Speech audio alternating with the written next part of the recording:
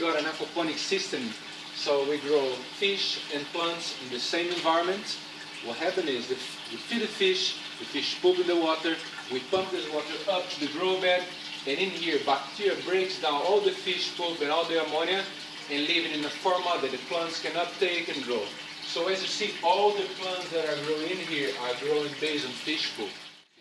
To keep the system running smoothly, we need to balance the amount of fish feed we put in the water in regards to the amount of plants we have in the top.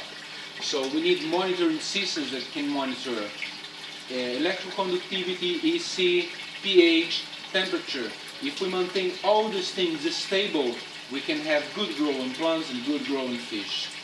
We've designed and built a control system um, based on a Raspberry Pi and an Arduino and a whole heap of shields and other electronics and together they take in a mass of sensor data and log it, make it available on the internet as a dashboard and generally keep an eye on the system.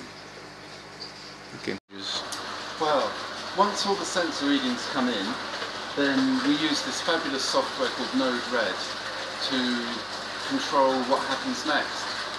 So um, Node-RED is a visual system. I often think of it like Scratch on steroids. You can drag on these nodes from the side.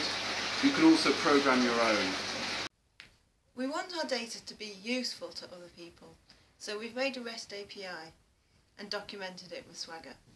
Swagger is not just documentation, it allows you to try out the API in your browser.